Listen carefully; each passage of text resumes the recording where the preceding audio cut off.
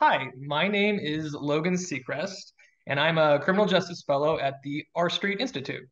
Uh, this is the second installment in our interview series on alternatives to arrest around the country. Um, if you could both just briefly introduce yourselves, that would be great. Sure. So I'm Dennis Weiner. Uh, I've been the chief of police for the Round Rock Independent School District for the last few months. And before that, I was assistant chief with the Palm Beach County School District Police in uh, Florida, where I was overseeing uh, field operations for the police department as well as support uh, support systems um, bureau. And in that capacity, I worked with our behavioral services unit, and we worked with the district's mental health uh, division, which is a separate department in that organization.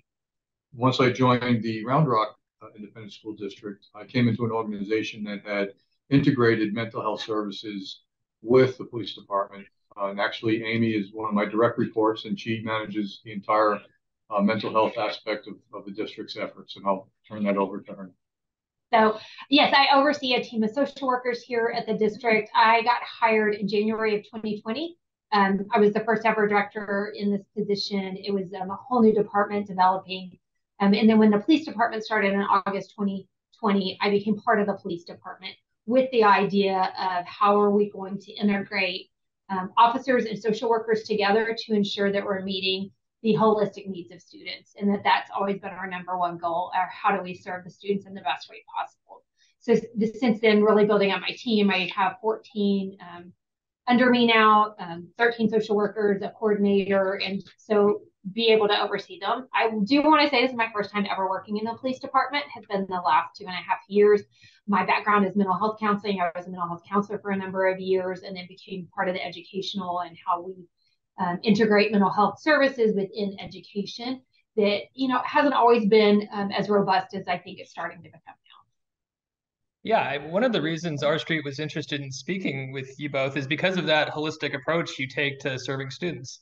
Um, you have a really interesting collaboration, like you said, between school resource resource officers and behavioral health specialists that I think we think provides an important alternative to arrest when uh, kids get in trouble. So, c- could you kind of describe that uh, collaboration more detail and how it works? Sure. So, our officers and our social workers, right from the very beginning, are fully integrated. What that means is that uh, Amy sits on our panels for hiring and I collaborate with her on her hires as well. Um, but then after the hire, we train those uh, individuals together. So our police officers and our mental health uh, professionals uh, train jointly. And what happens during that training is not only do they get the same training at the same time, but they also begin to build trust between the two professions, which is vitally important for having the uh, the effort succeed. No, and I would agree, and even beyond that, that it happens at that level. But I think it happens at the officer and social worker level because of the collaboration that happens at our level that um, often when we talk about our model people are like well how often do you collaborate with the chief of police? And i'm like daily hourly. Like the decisions we make um, are very much together and we see that, that we're two parts of um, that are of the same coin. We often get asked or i've gotten asked well couldn't you do the same even if you were outside of the department and you weren't um, with, reporting to the chief of police. And I can wholeheartedly say it would not work as seamlessly as it works if we were an outside department.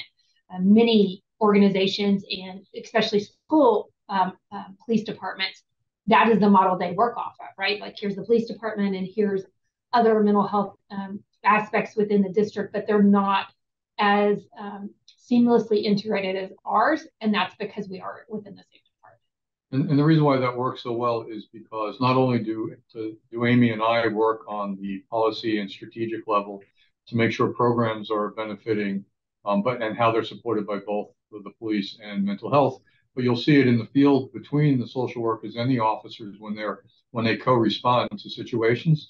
There's a little bit of a, a give and take that happens as the two the two members of the team figure out who should take the lead, who should be in a supporting role, and it may change roles over the over the engagement. So it may start out as a mental health engagement and then turn into a law enforcement engagement, or, or, or could reverse. And so the benefit of having them both on station at the same time with the same experience and training is that they perform seamlessly toward a, toward a common goal, which is a positive outcome for the student. Great, thank you. Um, one thing I was wondering about is how did Round Rock decide to make these kinds of alternatives to arrest a, a goal? Like, how did the collaboration come about? And did you design it based on some kind of evidence-based practice or, or some specific model uh, that you saw elsewhere?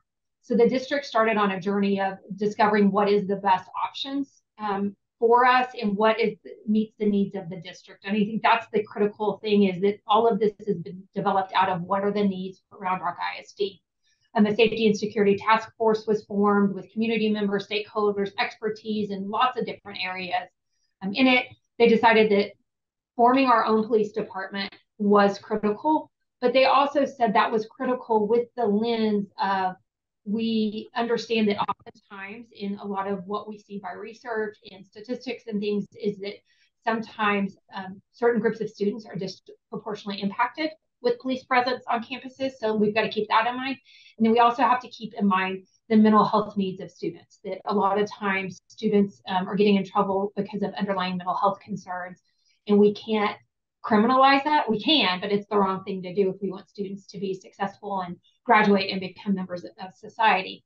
And so I, that laid the basis for how we would do um, this model. And I would love to say it was some great, we, we, we detailed it out from the beginning. It didn't, it organically happened. When I was hired as the director of behavioral health services, I was within safety and security. And so it started a lot of these conversations and seeing how it all forms together. And then I, I can 100% say since we've started developing it, we just started our third year, it has been the best decision. And that we see every day that students are positively impacted because of the way in which we're approaching um, school policing.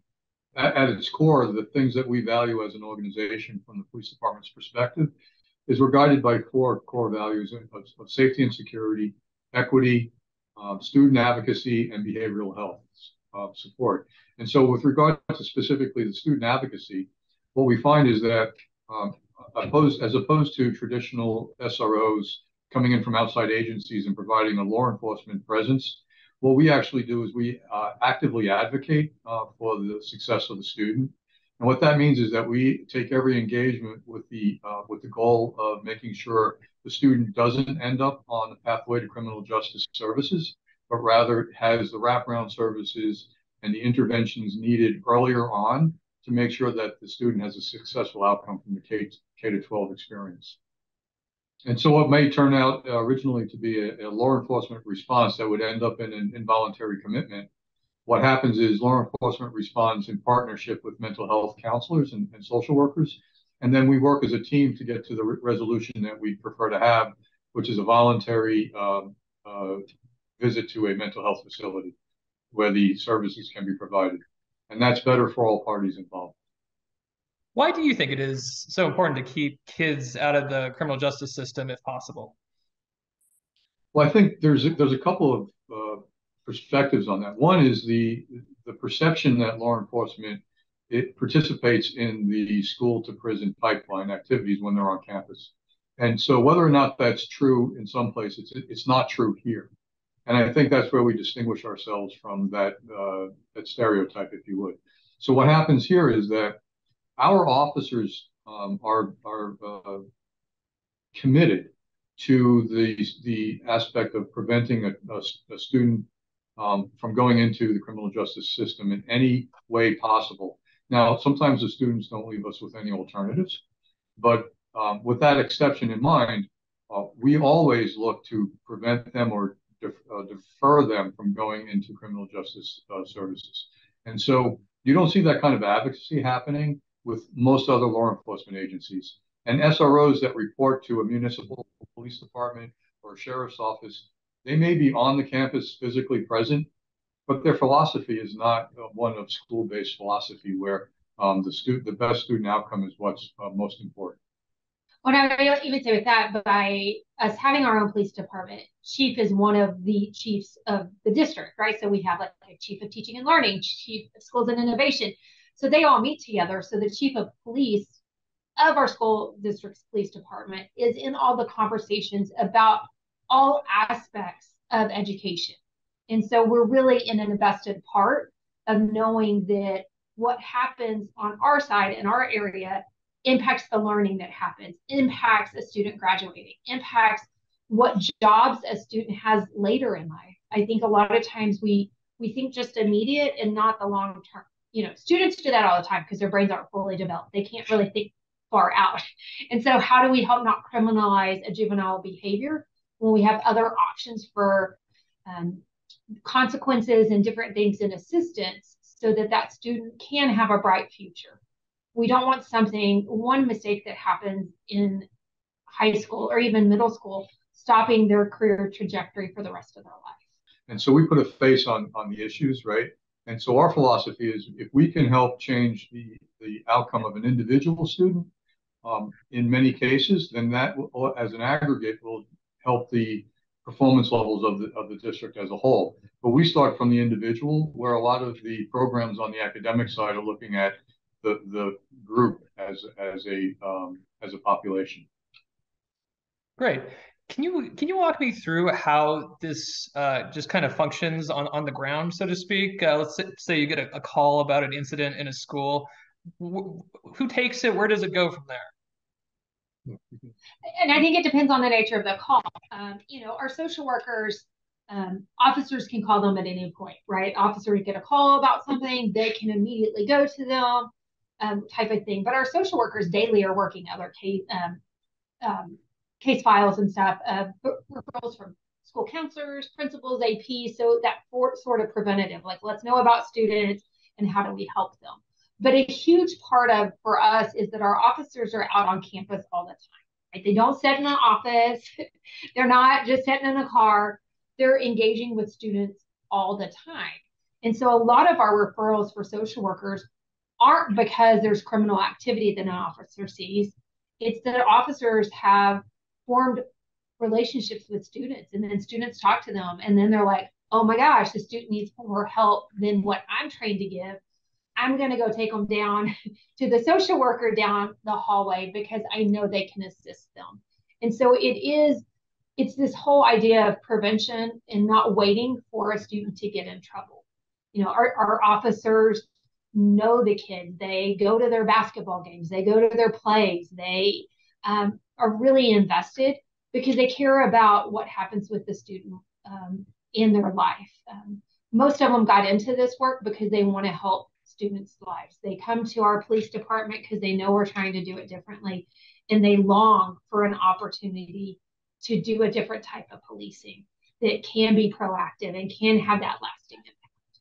We've also um, have started um, providing our, uh, we have two social workers that are critical incident response social workers, and they have particular training that we felt would be uh, um, applicable to uh, respond with officers on immediate uh, situations where students are in crisis. And so they actually are um, and will be monitoring our radio system so that they can hear calls for service coming out to the officers and they can assess those situations as they're hearing them um, being articulated over the radio and decide whether or not they may be able to add value uh, to the response, and in which case they are free to respond with the officers and to provide additional assistance on the scene. Yeah, I mean that's that's great to hear. I think sometimes in the juvenile justice system we can be so reactive that uh, it sounds like your model is really uh, a way to to head off problems before they begin. So so that's that's really great. Um, what would you say some challenges uh, have been that you've encountered in uh, in forming this partnership and this collaboration? I think sometimes too it, it, it is just because we can arrest doesn't mean we should arrest. And sometimes that's a hard mindset set a mind shift for some of our um, not our officers but even more you know administrators and stuff because they're not used to that. They're used to okay we call the police and then the kid goes.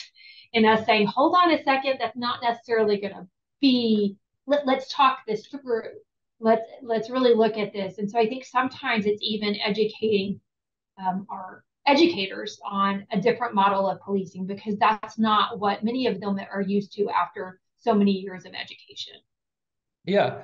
One of the cool things that I, I read about your program is that you've uh, started to incorporate uh, uh, dog therapy dogs and service animals. Can you tell me more about that aspect of of uh, your efforts?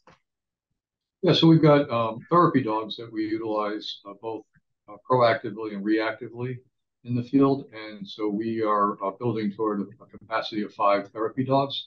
Uh, we currently have a few out in the field, and my experience with my last district, um, having uh, firsthand observations of successes there. I was a big believer in the program, and I was happy to find that they had one established here, which was actually even a little more robust. And so here we work toward not only providing those engagement opportunities ad hoc whenever we can get to a campus with with the um, with the animals, but those dogs are really something we're looking to in the future uh, inject into actual therapy programs where specific children may be uh, helped on a regular basis with the dogs to help them with their anxieties, to help them with their stressors, and to help them just um, uh, associate more comfortably with the school environment. And then we also use them as a reward mechanism. So if the behavior is positive for a week, they get some time to spend with the dog the following week. And so we found that to be highly um, advantageous in changing behavior. It is a nice way to um, introduce police officers at times to students that maybe have had a negative experience because some of our students have had negative experience or their families have. And so to see a therapy dog, because most of the time when you see a dog with an officer, it's a it's a drug dog, a bomb dog, like probably many others that I'm not aware of, and that you're not allowed to touch, and it's more of a punitive kind kind of thing. Where these are dogs, they're supposed to be pet, like you pet the dog so you can engage. And so I think even with that, it's really helped some of those relationships um, in seeing the the always say we humanize our officers, right? That they're not an officer, they're a person who is an officer. And I think that therapy dogs have definitely helped. So, what advice would you give to a law enforcement agency or a, school district trying to start up a similar program to what you've got going on in Round Rock? I think it's really important to get the right people um, on your team. Uh, they have to have the right philosophy. They have to understand what the expectations for the mission is, right? Mm-hmm. So that they're we're, we're, all pulling in the same direction. That's really uh, important. And then to really have a successful program for intervention. Uh, you know, here in Round Rock ISD, we use a threat assessment tool that's required by the state, but we use it um, very vigorously now to really try to uh, empower our administrative and educational staff to help us identify those students that may be falling into a pathway to violence or may, maybe having coping issues or maybe having adjustment issues where we can provide mental health services at a much earlier point where those services have been shown to be much more effective and, and with a broader scope of available resources earlier on. Once the student moves down a pathway to violence and they're toward the planning or operational phases, our, our resources are rather limited. You know, it's going to be law enforcement and some maybe very aggressive mental health services, but um, it's it's not as easy to engage with family counseling, student counseling, all the wraparound services that may be available once once a certain point is hit. I'll also say, just echo what she said about getting the right people. Um, it, it, can't just be that I, we have a few officers and then we have social workers and we're just going to plop them all together. That it really does take people from the top that really buy into the philosophy and not just by words, but by in actions too you know it takes people from both sides knowing that they only know they're experts in their one area right? Like I, I can't come in and tell them how to police. I i don't have that training. That's not my expertise. I have to respect and value the expertise of those i'm working with. And I, I don't think that happens with everybody and no fault right? It's just our different experiences. We've had different paths in life but i do think it really takes a, a chief who wants this model and trusts this model, but then it takes other leaders within the department to also fully buy in and be willing to learn and grow. Um, I learn every day new things because um, I've not ever been exposed to this. And so constantly being challenged and that we have to be willing then to readjust what we're doing. Just because it worked last year, it doesn't mean we can't make it better this year and continuing to do that. And so you have to have that mindset that will continue to evolve. Well, yeah, I, I think that's a, a, perfect place to to wrap up. Um, really appreciate your time today. It's a really cool model that you guys have developed, and I just hope more uh, school districts and, and, law enforcement agencies around the country can learn from you, learn from what you've done there in Round Rock. It's it's really awesome to see. Thank Great. you. Well, thank you. Yeah, thank you so much. Appreciate it.